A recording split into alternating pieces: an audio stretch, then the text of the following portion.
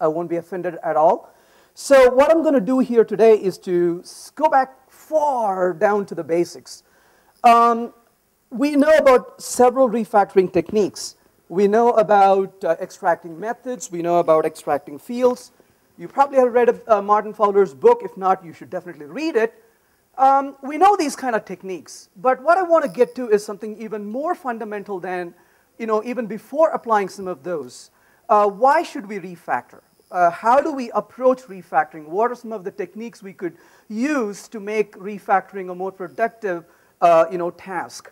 Uh, so that's what I'm going to focus on. And what I won't talk about here is a laundry list of refactoring techniques. You know, the reason is twofold. One, I can never remember those lists, uh, no matter how hard I try. The best way to really get good at those is to do them. And second, you can find them in most of the books. So why should I waste your time talking about what you can find in a book? So I'm going to share more about you know, what's worked for me and how things have evolved. What I would like for you to do is to ask questions, make comments, you know, something that may have worked for you. I want to know about you. I want to learn from you. Or ask questions about, hey, that kind of doesn't work. This is the problem I ran into. Absolutely. Anytime is a great time to you know, ask questions, make comments. Sounds good? All right, let's get started. Um, so what is refactoring? Refactoring is your genuine desire. I'm going to say genuine because why else would you do it? Right? It's a code that works, and you're going to spend your time fixing the code that works. And the only reason you would do that is because you're genuinely interested in improving it. There's no other reason to do it. To improve the quality of your code and the design in it. Now, of course, you say, hey, we believe in developing working software Actually, I would like to develop working relevant software. But then why do I care about quality of code? After all, the customer never sees the code, right? In fact, you hope the customer never sees the code. So why bother wasting time on code quality? That's a total waste of time, right? Well, I'll tell you why it's extremely important to care about quality of code. Because it's very simple, right? You cannot be agile if your code sucks. As simple as that. Your company says you're all agile, right? So you go to the customer. So here's my customer. I say, customer, don't worry, we're agile. The customer is all hyped up, excited. Really, what does that mean? You tell us what you want to change, and we will do that for you real quick. And the customer begins to tell you what he wants. As the customer is telling you that, in the back of your mind, you realize, oh my God, that means I got to touch that code the one that you touched last time and could not go home that weekend. Now you're going to convince the customer that's not a good idea, right? So you cannot possibly be agile if your code sucks. So if you really want to be responding to change quickly, the only way that's going to happen is if the code is of good quality. Otherwise, we can, might as well forget about it. I'm not saying that's the only thing that's needed, but that's one of the essential things. And without it, it's almost impossible to achieve that. But you say, wait a minute, but it takes time. Developing high quality code takes a lot of time. Well, I'll tell you, it takes incredibly a lot of time. But it's more complex than that. Who here can write wonderful code? Raise your hand if you can. Two people. You're all lying. I'll tell you, I write code that sucks. You don't want to look at the code I write. You're going to say, really? This is your code? But you know what I'm really good at? I'm extremely good at finding fault with your code. so I found out this dichotomy, right? That I really suck at writing code, but on the other hand, I'm so good at finding fault with other people's code. So I realized, why should I waste time writing great code when I can write some crappy code real quick? I can give it to him, and while he tells me how my code sucks, I can look at his code and say how his code sucks. In the end of the day, we all have good code. So don't pretend that you can write good code because nobody can write good code. But we all collectively can, and that is why we also need refactoring. So it takes time to do it. But why should we really care about it? Because lowering quality lengthens the development time. If you really, really say, you know what, my project is going too fast, what do I do? Write shabby code. That'll take care of your progress, right? So one of the best ways to mess up a project is to really write poor quality code. That's one of the first laws of programming we need to be careful with. So why should we refactor? Well, the first reason is to make the code easier to understand. Because we cannot obviously maintain code that we cannot understand. So that's very important to do that. It's easier to maintain. In fact, we want to do more maintenance. You know, we think that maintenance is a, is a bad word, but it really is not. Uh, Robert Glass has a book on fallacies of software development, and one of the things he says in it is that a good software goes through more maintenance. If you're a mechanic shop, you want to do more car maintenance every day because that's what your profit is. If you're developing software, you want to make more releases with more features more quickly, and that is what maintenance is. Because we are so bad at doing it, we kind of give a negative connotation to it, but we want to be able to do more maintenance. And to be able to make effect of the changes we want to make, and that's very important. But why should we care about all of this? And the reason is the only constant is change, right? We always have to be prepared for change, and, and that's basically what Heraclitus said, is the only constant is change. So we want to be able to embrace this change. Now, of course, there's a more important reason. Because, as, as this beautiful saying here says, programs must be written for people to read and only incidentally for machines to execute. We read code more than we write. But you ask yourselves, why is it that we, most of us write bad code? And the reason most of us write bad code is most of us have read bad code. I mean, this is sad. Most of us even don't know how a good code looks. Because we've seen them so much, we don't even realize it. And so if you find a good code, make a big deal about it. Immediately tell the world, oh, look how beautiful, thanks, uh, well, look how beautiful this code is and why it is good, so we can all kind of, you know, relate to that and pick it up more. That's very important. So one of the reasons to do this is because you cannot write perfect code in one sitting. It is impossible. If you think you can write code in one sitting correctly, that just means that you're in an illusion. Nobody can. And it takes an iterative approach. You write something and then you evolve it and refactor it. And to me, I really started appreciating writing code more after I wrote a book. Because when I wrote code, nobody ever saw it. In fact, you kind of take pride. It's my code, right? When you write books, you cannot do that, assuming you want to you know, really sell the book. And the editor reads the book and he pokes your eyes and says, Do you know how to write English? And then he corrects you. And then you give it to tech review. The guys who do tech review don't pat you in the back and say, Great job. They say, Do you know how you suck?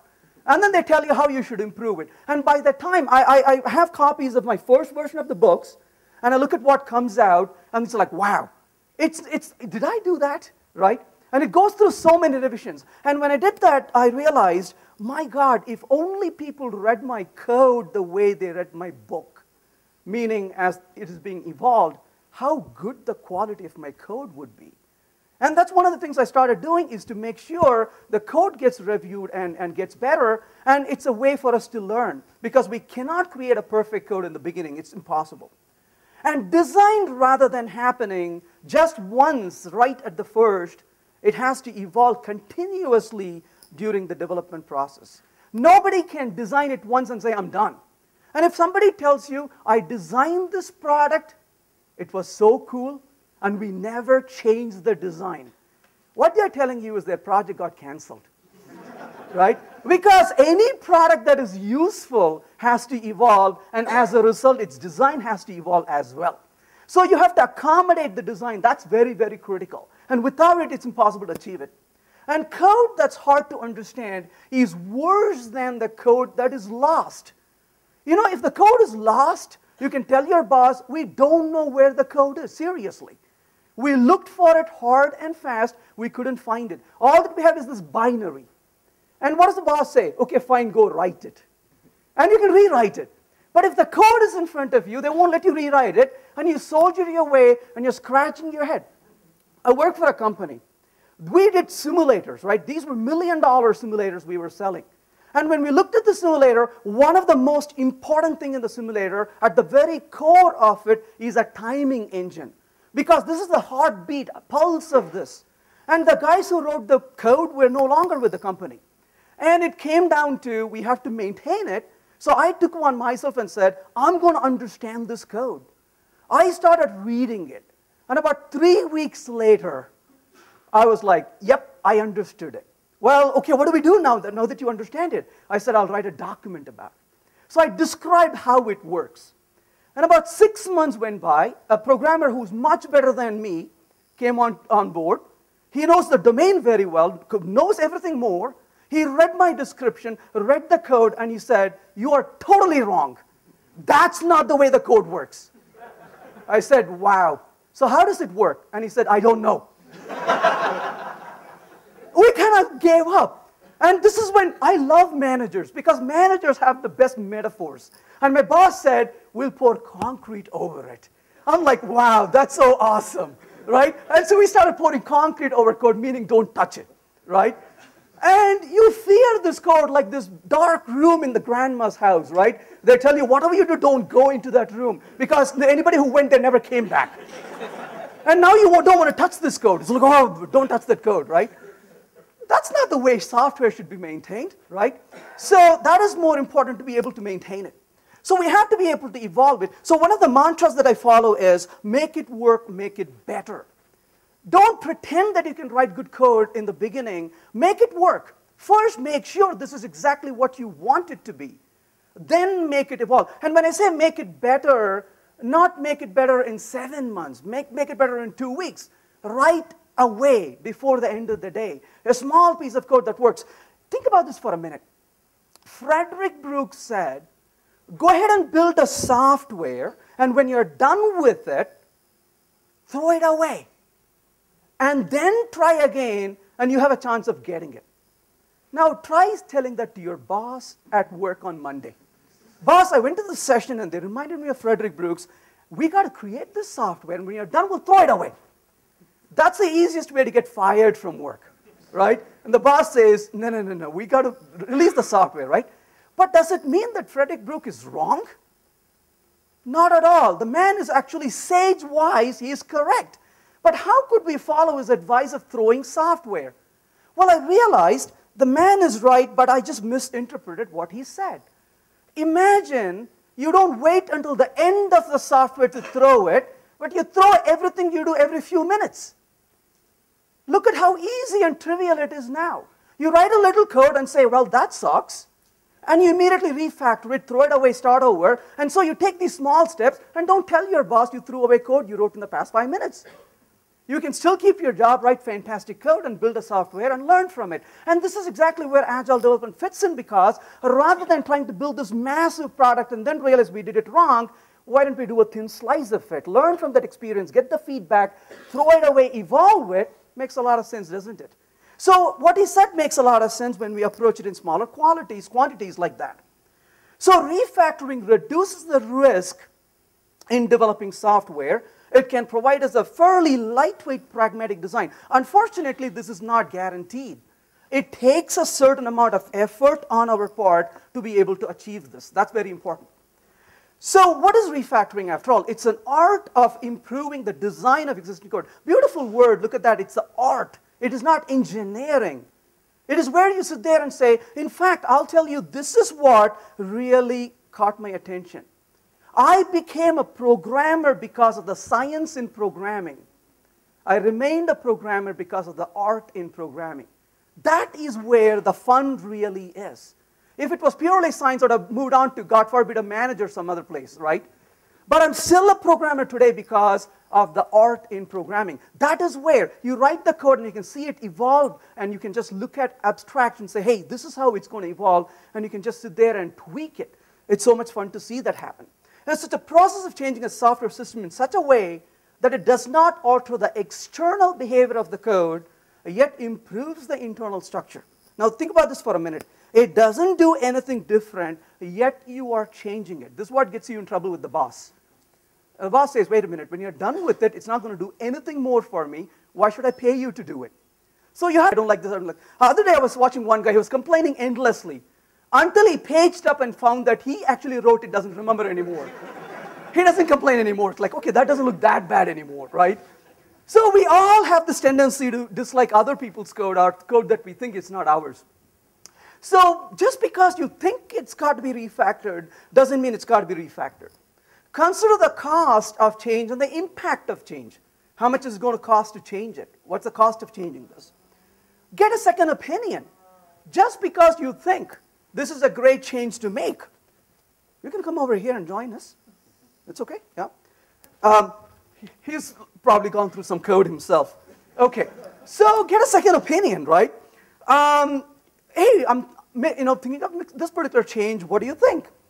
Uh, the person may say, well, that's a great idea, let's do it. Or the person may say, have you considered this other situation? And you end up really realizing there's something else that needs to be done, right? There's no fun just doing it in the dark. So get a second opinion of somebody whom you respect on the project. Don't soldier through it alone on your project. But refactoring can be hard. Oh, yes, it can be very hard. But a lot of other things are hard in life. Socialization is hard, right? Socializing with people is hard. Hey, standing up and talking is hard. And depending on the speaker, sitting and listening is even harder, right? So a lot of stuff are hard in life. So it depends on how you approach it. That's why he had this earplug on and was singing, right? There are ways to cope up with these problems, right? Absolutely. So, how do we deal with this? So, one of the things is the only thing to fear is fear itself, as, as uh, FDR said. So, yes, it's natural for us to fear. When you tell me to go do something that I've not done before, or I'm so worried that I may embarrass myself doing it, a natural tendency is for us to get you know, fearful. But the only way to deal with fear is to really logic. You know what? That is one of the things we in this room are really good at. We are extremely logical, right? That's why some of the spouses we have don't really appreciate us, right? Every time they say, um, how about emotion? Honey, let's talk, look at this logically. And they don't want to sit with you anymore, right? So it's natural, understandable. But let's use it to the advantage in these cases. We can be very logical. So think about it, how can we do it? So why do we fear things? I thought about three reasons that I can fear about. What if I break something that worked? That's a good fear to have.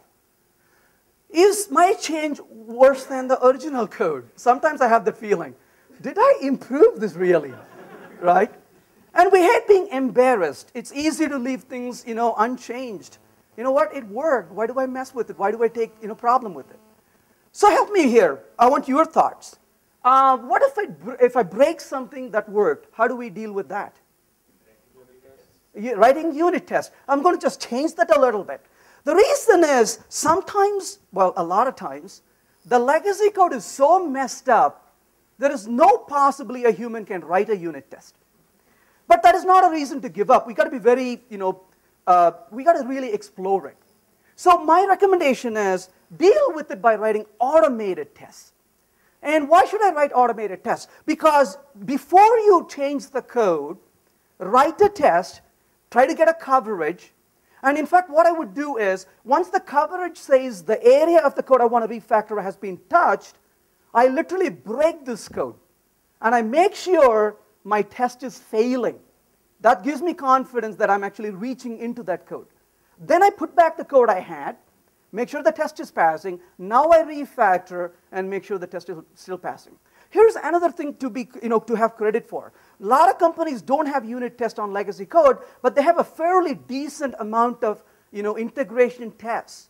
Sometimes the custom companies may not have, but key customers have written a few things. Go find wherever you can and run those tests. And when you refactor, you know that the code does still what it did before.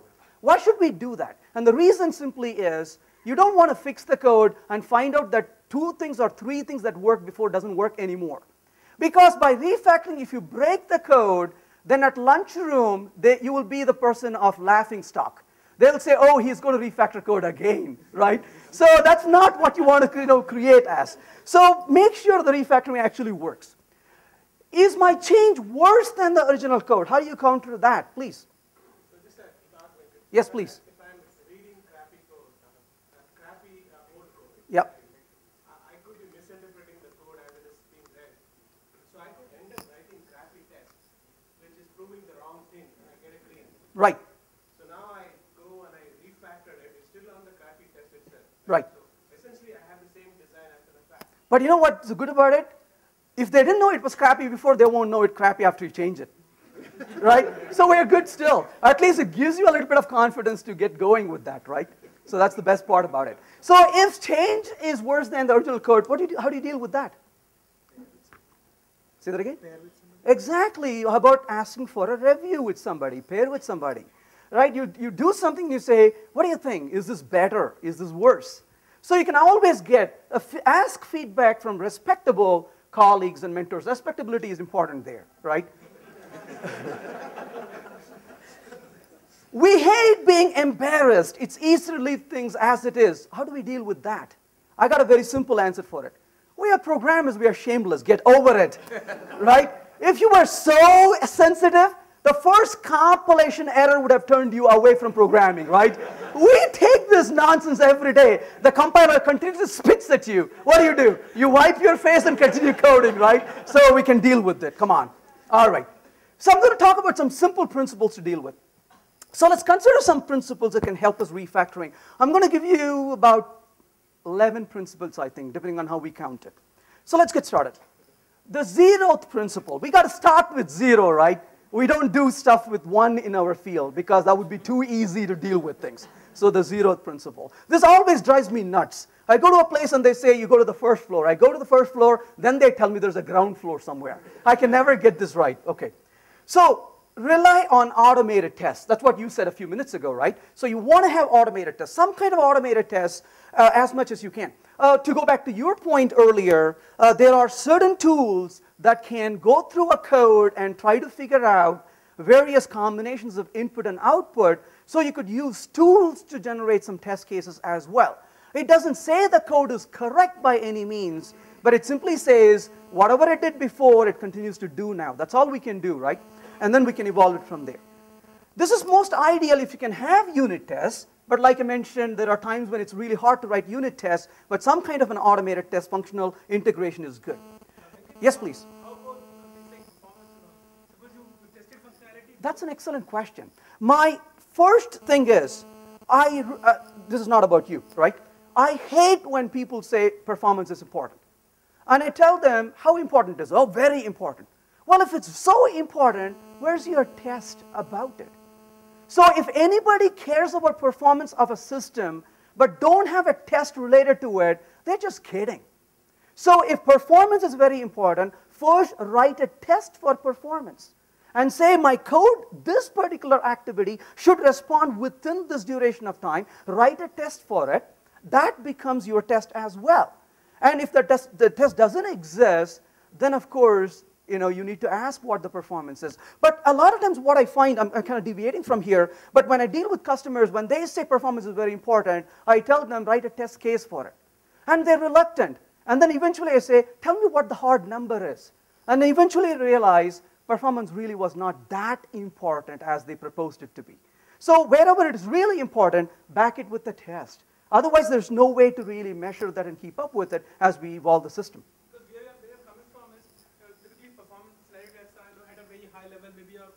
code bit fits together. Right. And when you are doing unit tests, it is more at the code level.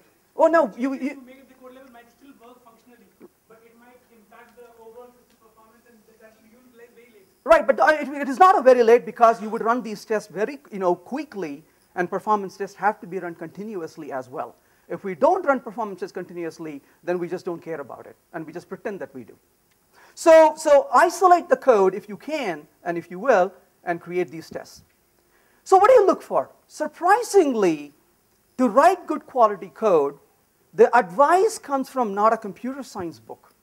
It actually comes from a book which talks about how to write good English. This book was written a good 30 years ago. I cannot recommend this book enough. If you haven't read this book, buy it. And I say it with confidence because I didn't write it. So this is called On Writing Well. It's a fantastic book by William Zinsser. And in the book, he talks about four principles to write good English, nonfiction. And it turns out, I think these four things are the fundamentals of refactoring.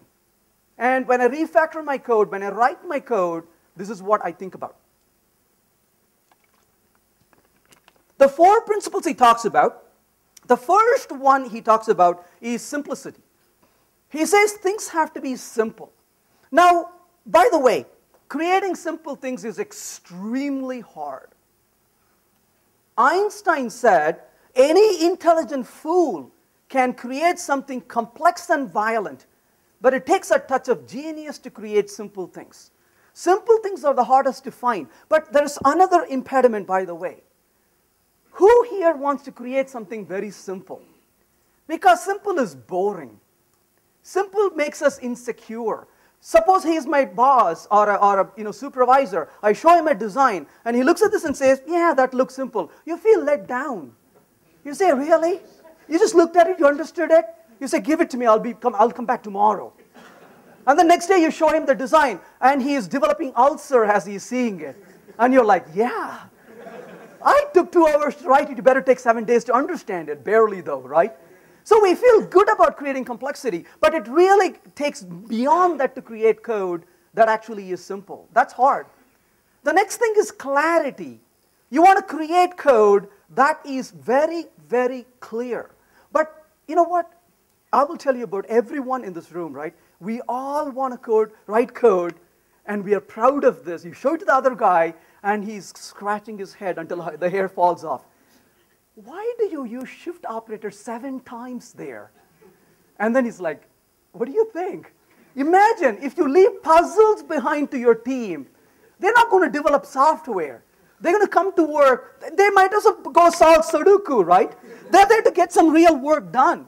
So make it very clear when there is a deadline looming over the head, they want to fix the code, they open the code, and they're like, what's this puzzle he has left behind? Don't torture people, right? They curse you right? The words they use, don't, you don't want to take that. So just write code they can understand. And they thank you. You will not hear it, but it adds to your karma bank. Okay? So just do that. Brevity. Brevity is tricky, right? Brevity doesn't mean just short. I had one guy, uh, you know, I was, um, you want to keep things short. In, in English, he says, don't write long sentences. We Indians are so good at it. We write long sentence. By the time you get to the half of the sentence, you have no clue what you're talking about, right? One of the first things my professor said is, don't write long sentences. Like, what's your problem? And then I looked at the papers, like, oh yeah, he's right, right? So write short sentences. In coding, similarly, right? Shorter methods, shorter, you know, classes, shorter programs. Anything that you can. But don't take it too, mu too much. I was teaching a course in Northern Virginia, and one guy said, How dare you come to this company? We're a great software company, and you tell us we cannot use single letter variables. I was like, Man, I offended this guy. Uh, I'm sorry, you know what? That's a good practice, you know, if you can take it or leave it. And he said, Oh, no, no, no, I was just pulling your leg. Uh, you should look at our code. Man, it's single letter variables everywhere. And six months later, I went back to this company. The same guy said, Oh, Venkat, I want to thank you. I was like, Really? For what? You came last time and told us not to use single letter variables. It has made a huge difference. I was so proud. I said, Really? He said, We use two letters now. there is no way to fix this, right? So, you want the right code that is easy to understand. So, brevity doesn't mean cryptic. Bre brevity is different from terseness, right? So, keep things small. That's very important. And the last one is probably the most difficult one because I was reading through this and said, humanity, we are a bunch of emotionless people, logical people. Why would humanity be involved in it? And I can vouch for this every time. You call a couple of guys and say, How do you design this code? And they talk about, Oh, you would do this, you do that. It's a lifeless computer they're talking about, and the design no wonder sucks. Instead, you throw that away and say, Hey, if you were doing this, how would you do it? Bam! Comes out a beautiful design. Because they put themselves into it, right? So humanity is extremely important to create a good quality software. So I think these are extremely good principles to follow. So the first principle, the zeroth principle is over. Reduce code. Oh my God, I cannot emphasize this. I'll guarantee you, the code you did not write has the fewest bugs, right? You cannot have bugs in the code you didn't write. There is no way you can improve from there, right? So the code you didn't write, but what do programmers do? Brr, before you can turn your head, 30 lines of code. Wow, how did you do that? The other day, somebody showed me like three pages of code, right? Do you need all of that? Well, we are so, you know, eager to write a lot of code. In fact, A great programmer avoids writing code. You need to really say, do I really need to do that? I'm going to question that. So don't write code that is really not needed. That takes a courage to say, you know what, I'm not going to write that. I don't need that right now. So programmers end up writing as much code as restaurants serve food. This is one of the biggest problems, by the way. You go to the restaurant, they give you food like you're not going to, like you're going to go into a you know, dessert for the next one week. Eat a beta, right? Why? Why should I have so much food, right? And same thing with coders. Why should I write all that code? I, will share with you an experience. This was a delightful. I came back from my international trip. I was starved. I was hungry. I went into this restaurant, sat down, and I was alone, you know, sit down, uh, gives the menu. And I said to this guy, I want this, this, this, and this. In a very straight face, this guy looks at me and says, Who else is with you? I said, I'm alone. And he said, That's all for you. I said, Yeah, that's all for me. And then he kind of smirks and says, uh, You won't handle it. I was angry for a second, right? I said, Excuse me? And he said, I bet you you cannot eat that much food. How do you know about my appetite? And this guy says, Okay, I'll hit a deal with you. I will give you half the food you ask for. You decide to pick which half you want. And if you finish it, and if you want more food, the rest of the food I serve you is on me. I was like, okay, fine, let's take it as a challenge. So he gives me half the food. I ate half of that. And I said, oh, I'm sorry, because can I bring you more? It's like, please, no. But you know what he did that day? He earned my business. He earned my respect.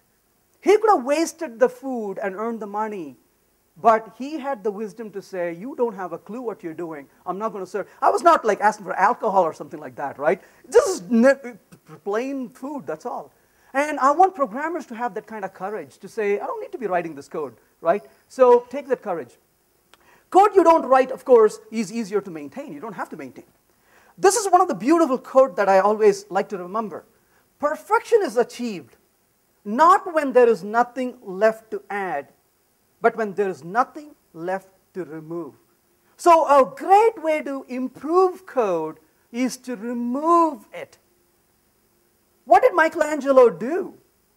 He took a marble slab, and what did he add to it to create this beautiful naked David?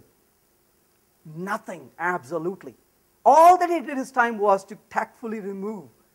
And that is one of the most important things to remember. A lot of times we are so eager to add stuff when we really should be focusing on what can be removed. Don't write clever code. Now, uh, if you ask me, in my experience, what has gotten me the most trouble into, it has been clever code. I remember in, in one of my books, as I was writing it, I did something very clever. I was so proud of it. I said, Isn't this beautiful? About uh, two weeks goes by, and in production, the book is in production, somebody downloads the code and has a problem.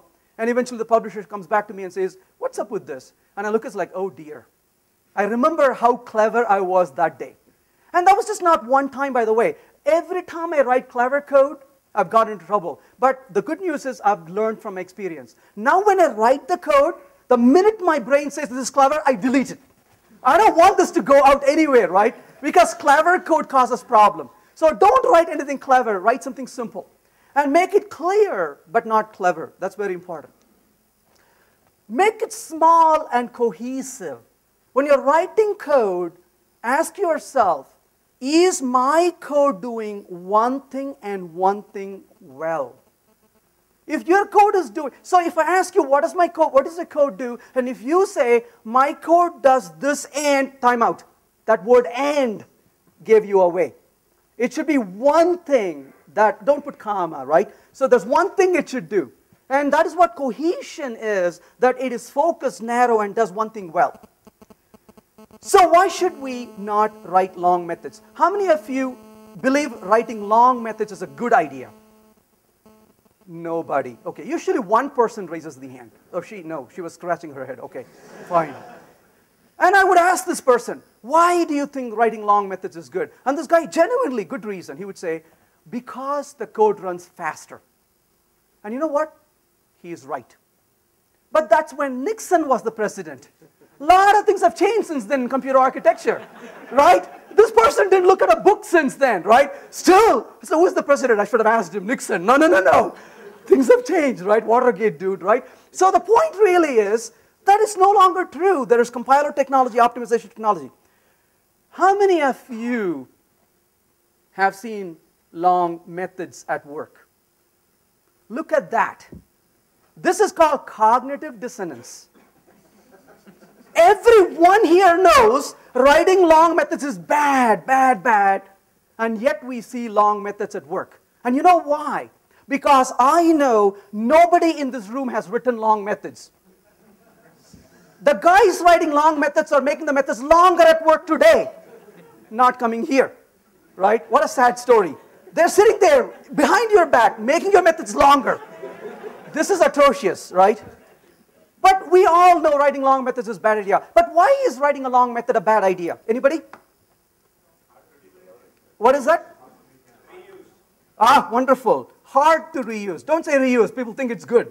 Right? Hard to reuse. Okay, what else? Hard to debug. It never conforms to single responsibility, right? So yeah. Uh, so no, single response, SRP, single responsibility principle. Okay, what else? Complex. Okay, complex. What else? What was that? Uh, hard to test. Hard to read. This guy has hopes. Okay. All right. What else? What was uh, bug prone? Okay. What else? Uh, what was that? Oh yeah. okay. Where does it start? and end. yeah. Hard to see the whole thing. What else? Side effects, beautiful. What else? Leads to duplication, isn't it? You got this long method. Somebody said reuse, right? Right there in the middle is the code you want, but it's right embedded down there. What do you do? Oh, wait a minute. You copy that and stick it into another long method. So it leads to code duplication, right? It's hard to maintain. This list, by the way, goes on and on and on. And yet, people write long methods. Scary, isn't it? We all know this is a terrible thing to do, and yet we see it. You say, well, okay, wait, Venkat, we got to fix this. What do we do? You say, I've told all the things to my colleague. He doesn't listen. I got one last, one last effort. What was that? Never works. Yeah, just because it works, unfortunately, is not good enough, right? Will it continue to work? That's where the problem is, right? Because unfortunately, Software has to evolve. My, my, my RAM is so small, I don't retain what I say. He expects me to remember stuff I say. Okay, all right. So, what was I saying? Okay, so anyway, so if you're maintaining, so you, you have this last ditch effort, right? So you go to work on one Monday, sit down at work, don't talk, just continue to code, and your colleague comes to you and says, how was, how was the weekend? You could tell your colleague, oh, the weekend was great. On Saturday, I went to the movies, and Sunday, I went to the park. And your colleague may say, Really? Which movie did you go to? You can tell the movie name.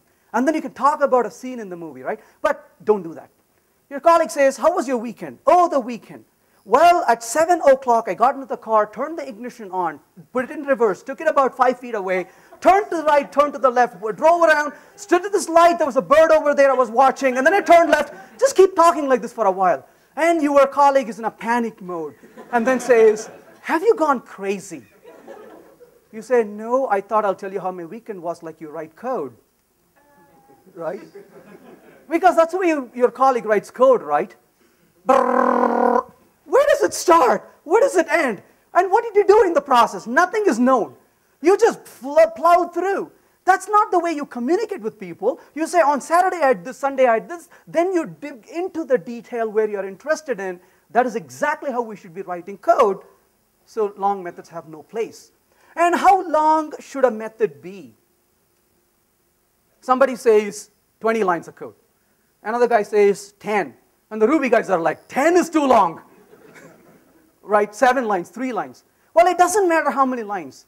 One thing I would say is you must be able to see the entire code in one window without scrolling. Uh, don't, don't lower the font size, right? But it's more than the size of the code, by the way. You want to make sure that the code is in one level of abstraction. That is the most important thing. When you get into a code, there is one level of abstraction. Like, for example, if somebody tells you, How was your weekend? you talk about major things you did in the weekend. Went to a movie, went to the park. You're not drilling into any of these details more in, in a very short sentence. And if you want to talk about which movie it is, that is a second level of abstraction, like which corner street the park was at. And if you want to talk about one specific scene in the movie, that's like one particular tree in the park. So those are multiple levels of abstraction, and writing code exactly involves that. We need to focus on that. So that is something important to keep in mind, and we can avoid having long methods if we do that. The fourth principle is eliminate duplication, because code duplication is hard, evil to maintain. And it, I, was, I was speaking to a company in Hyderabad. I was talking about how bad the duplicated code is. This, guy, this programmer was in complete sync with me. He said, You know, Venkat, you're absolutely right. In our application, we fix the same bug every two months. I said, Oh my God, does somebody actually run over and put the bug in back in the, into the code? He said, Oh, no, no, no, no, no. This code is duplicated so many places, we keep discovering it. I said, Oh my God, how does it feel? He said, Oh, that sucks. And I said, of course, when you find the bug and you find it's duplicated, you do remove the duplication, refactor the code, right? He says, what a great idea. It's like, what are you doing? right? There's no end to it. If you don't remove duplication, that's an opportunity for refactoring. So every piece of knowledge must have a single, unambiguous, authoritative source of representation in the system. And that's what the DRY principle is all about. Eliminate dependency. Let me emphasize this. I am not asking you to invert the dependency. I'm tired of that. People want you to do inversion of invert dependency. What does that mean? Brrr, comes an inversion framework. Please, thank God, we don't need to do that. Don't invert dependency. Get rid of it. I was in SpeakerConf uh, conf a couple of years ago, Narration arranged one in Philadelphia. I was quietly listening to a group of guys having a good chat, and they were all saying, oh, we would be doing more unit testing if only they were more easy to maintain. And a few minutes later, I kind of pitched in and I said, hey, maybe guys, your unit testing is really hard, maybe because your design sucks. Just saying that I offended everybody in the room. They were like angry. What do you know about our design? How could you say that? I said, because I design, my design sucks all the time. I thought you guys are like me. And then they said, but well, how would you design this? We talked about this for a few minutes, and I blogged about it after that weekend. And my recommendation is knock out dependencies before you mock out dependency. So we most of the time so eager to mock dependency, we fail to realize we don't need to be mocking if we can knock it out. So the first design refactoring technique I would use is to eliminate dependency, not invert it. Because the eliminated dependency goes away, doesn't bother you anymore. There's no mocking. At the end of the discussion, half the people were still mad at me, and the other half said, interesting, I should go back and try this because I think there's opportunities for me to actually knock these dependencies out by you know, redesigning the application. So that is one of the things, if you want in, interested, just Google for knock out before you mock out, and you can look at the blog entry and, and read more about it. The sixth principle is make comments redundant and remove. I cannot tell you how much I hate comments. Comments are devil's work.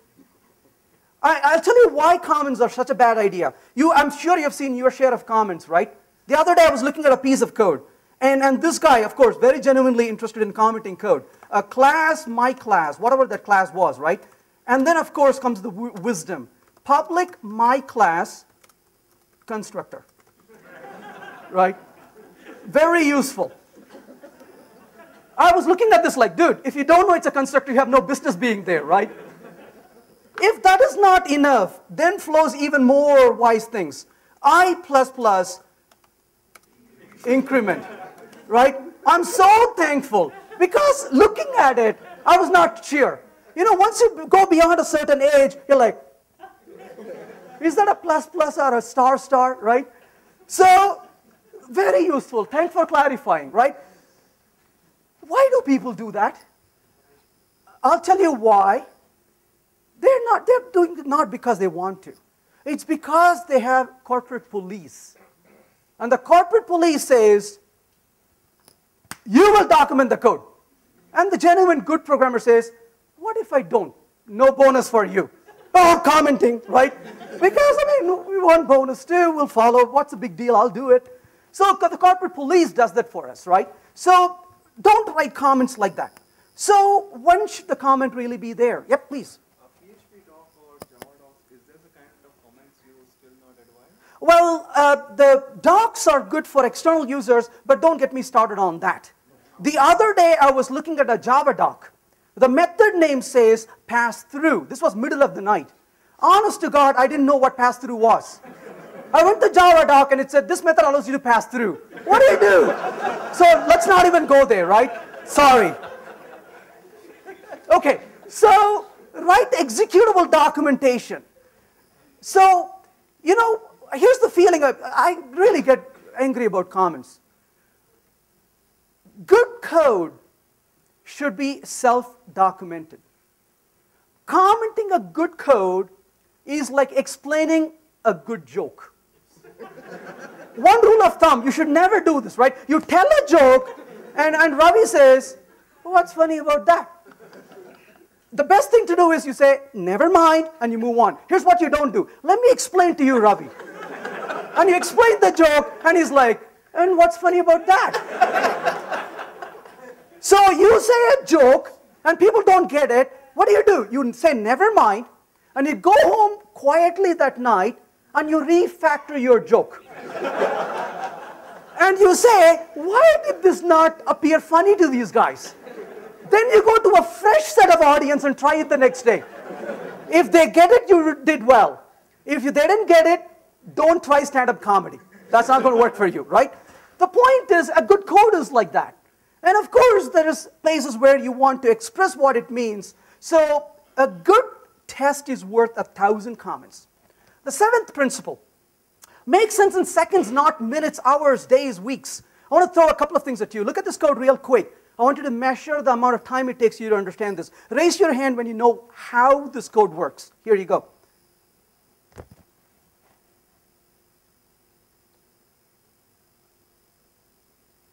Most of you are still reading. That's already timed out. Okay, so sl slowly is raising the hand. And that too reluctantly, right? How many of you, what about this one here, by the way? Quick. We can understand fairly well, right? Because this is, did you notice one thing? This code is at several levels of abstraction. Did you notice that? We are going multiple levels of details, whereas this says I'm going to be at one level of detail. So which of these two is a better version? The second one, unless you're a consultant writing code by the number of lines of code you write, right? So let's burn that code. We have to write good code, right? So make it easy to understand very quickly. Avoid primitive obsession. We are at this point where we write to like code, write code at the lowest level. And we have to really work hard to remove that. Here's an example. Is spelling correct? That itself is spelled incorrectly. file equals new file. And then it says for each line, go through. This is, by the way, Groovy code. I was looking at this code. This was actually code written by somebody. As I was looking at this code, it took me a couple of minutes to understand. And once I understood this code, I was like, really? And I rewrote it, and that was exactly the same thing. And I'm relying on a higher level API, avoiding the primitive obsession. Sometimes you just want to be at the very low level. This is one of the most important things for me. Check in code frequently. How frequently? Within minutes. Not days, not weeks, not months. Within minutes. Now, I'll share with you just a story real quick before I go with this. I was pairing up with the programmer. I was the mentor in the team. This is the reason I love mentoring, because very quickly I become the student, I begin to learn. I was pairing up with this guy, and we were supposed to refactor a class that was the you know, facade the database. And I'm thinking about this, my God, this refactoring is going to take about maybe four or five hours. And it was about two in the afternoon. And this guy sitting next to me, we were in you know, Holland, I was on a project there. And the guy sitting next to me says, all right, let's start refactoring. We did a little bit work. Immediately he runs the unit test. All that unit test passes. And then he kind of looks at me and says, now I should check this code into the version control, right? And I smiled at him and said, you said the right thing. Here's a candy for you. But tell me why you should check in the code right now. He said, I have three reasons. I was like, wow, this dude has thought through this. Three reasons, tell me what those are. He said, the first reason, if we continue to work with this for several hours, it'll become a merge hell. Number one rule of programming you should never receive merge hell, you only give it. and he's like, Yep. I said, Great. The second problem we are trying to refactor this, and when we are done, we realize this is not compatible with the rest of the system. But if we keep checking this in you know, often, if it doesn't go well with everybody else, they kick and scream, and immediately we can revert and go forward. I said, Excellent. What's your third reason? He looked at the watch and said, I have to leave in 50 minutes. and he said, When I come back in the morning, chances are I have other things to work on. You could pair up with somebody else and continue to work on this because I know you have no life, but I have to go. And then he said, when we come back in the morning, we could pick it up again, or somebody else could pick it up. And to me, that is extremely important. You should be able to leave your work in the system where somebody else can pick it up and run with it. If you have jeopardized the entire system, some companies you have probably heard, this guy sends an email or announcement. Nobody compiled the code for the next hour. Why? Because I'm refactoring. No. That's not refactoring. That's messing it up. So you should be able to continue to evolve the system along the way. So let me quickly wrap up. So frequent check-in is extremely important. I cannot emphasize it enough. The last principle, keep code at one level of abstraction. This is called the compose method pattern. So when do you refactor? Generate general awareness. Keep looking for code.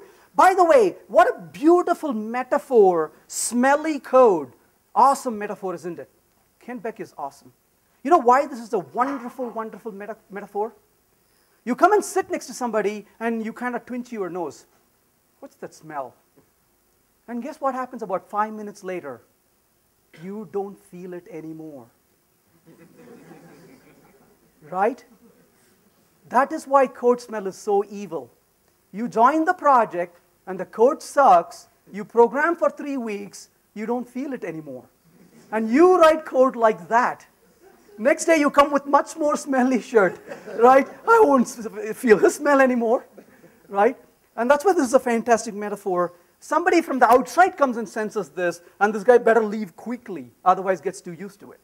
So look for these and, and refactor continuously. So code is messed up beyond any reasonable uh, repair, don't refactor, it's too late.